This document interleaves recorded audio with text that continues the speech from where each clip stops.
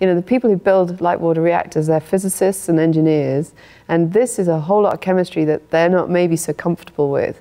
So it's the chemistry of it that makes it so special, but it's also the bit that existing nukes kind of go, oh, you know, we're going into realms that I don't perhaps feel so comfortable.